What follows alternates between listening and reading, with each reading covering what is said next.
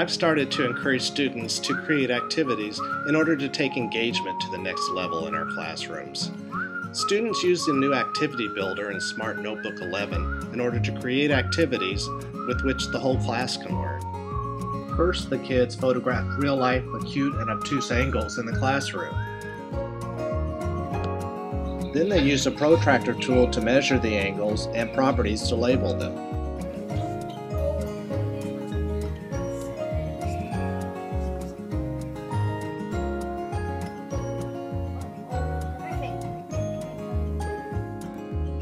Next, they recorded audio clues by naming the angles degrees.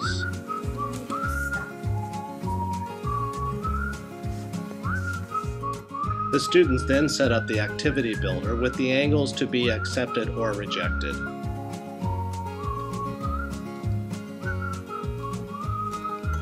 And finally, they shared their student-created angle activity with their class.